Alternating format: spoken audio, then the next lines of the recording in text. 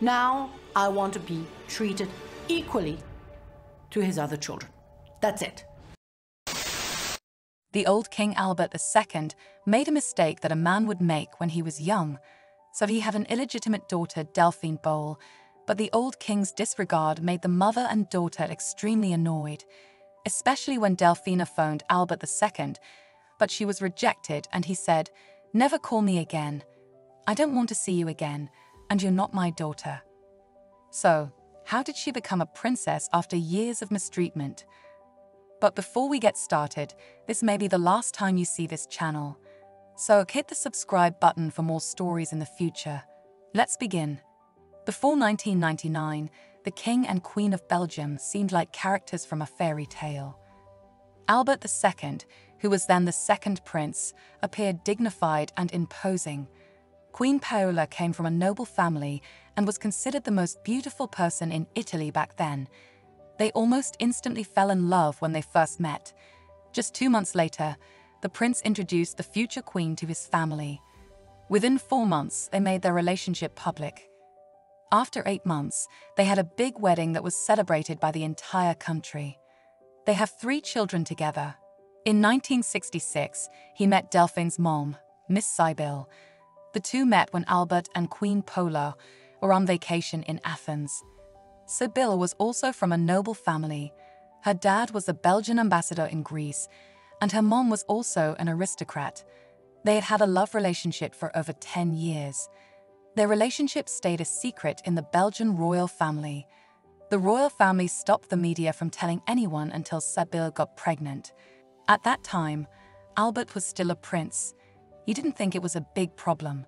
He even suggested he could divorce Paola and marry Sibylle, but this idea didn't happen in the end. When Sibylle was going to have a baby, Albert often visited her. He brought her flowers, took care of her while she was pregnant, and was even there when the baby was born. Sibylle once told the media it was a wonderful time. He was always very kind to her. During that time, Albert and Paola even started the process of getting a divorce at one point.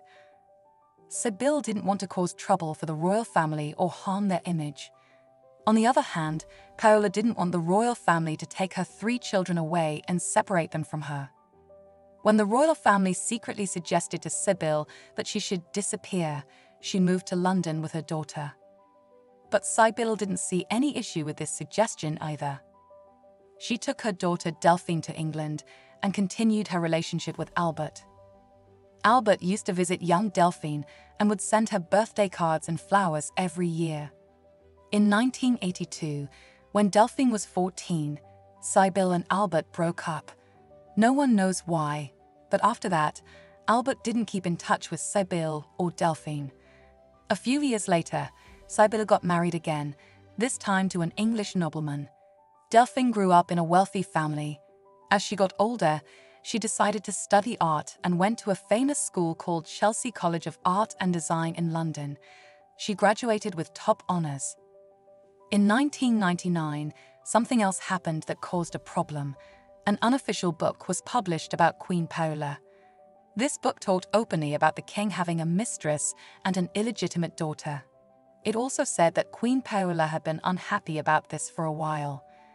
This made a lot of people in the country really upset. Right away, the Belgian royal court said the rumor was just boring gossip, but people didn't stop being upset about it. Later that year, Albert mentioned it in his Christmas speech. The Queen and I have had a very happy time and remember the crisis we went through together 30 years ago.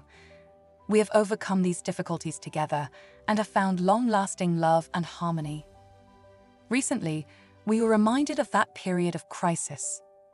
We do not wish to discuss this further as it belongs to our private life, but we are also comforted if such experiences can give hope to others in similar predicaments. Albert said nothing about Sibylle and Delphine, he just referred to them vaguely as a crisis.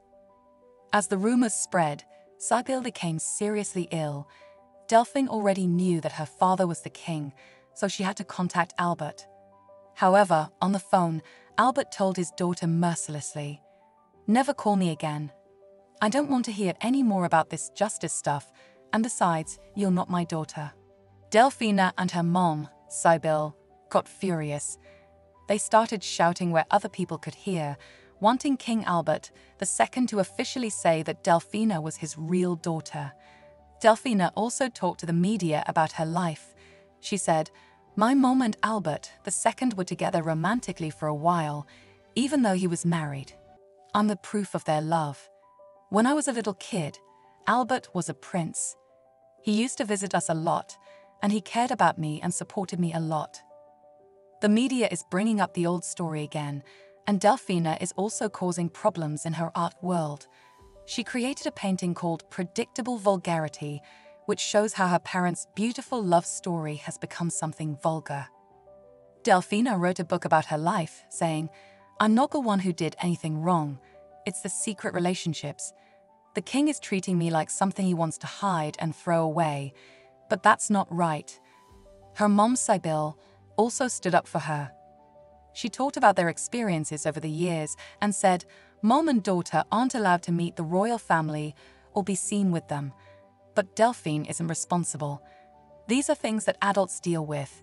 If anyone is to blame, it's him and me. No matter how Delphina questioned it, the royal family always insisted that it was all vicious gossip, and the king never responded. So, in the capital of Belgium, under the eyes of the king, Delphine held a painting exhibition that satirized the king. Never give up.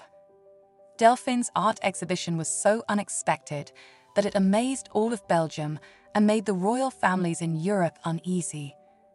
Because of this, people from all walks of life came to see it, and even some officials visited privately. In 2013, Albert II quit being king because of his health. His oldest son Philip became the new king. Once Albert II was no longer king, he could be charged with crimes. Delphina then used the law to fight for her rights and prove her true identity. Delphine took her case to court and asked Albert II to give a sample of his DNA to prove they were family. To fight against her lawsuit, Delphina didn't just wait in the courtroom, she was on her way to court. She always said she wasn't doing this for money or status, but to get an explanation from the royal family even if the judge said her case couldn't proceed, she wouldn't give up and would keep pushing forward. Albert II said many times that he wasn't Delphina's father and didn't want to give his DNA for a test. Then, in February 2019, the court in Belgium finally decided something. They told Albert II he had to give his DNA within three months. If he said no and didn't give it, he would have to pay a fine of 5,000 euros for each day he refused. There was no other choice, so Albert II had to say yes to doing a DNA test and gave a bit of his saliva. When the test showed he was really her biological father, the Belgian court, in October 2019, officially said that Delphine was indeed Albert II's daughter. This ended a seven year fight about whether he was her dad. Afterwards, Delphina went to court again, asking for the same rights as her royal brothers and sisters in January 2020, the court in Belgium decided that Delphine, like the other legally acknowledged children, could be called a princess and also had the right to inherit from the old king. After many years of feeling sad, 52 year old Delphine finally got to meet her father, 86 year old Albert II, in the castle. It was their first time meeting.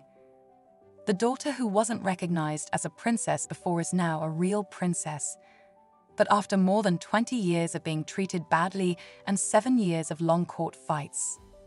Why do you think Delphine kept fighting for her identity and rights, even after facing mistreatment and denial for years? We'd love to hear your thoughts and stories in the comments below.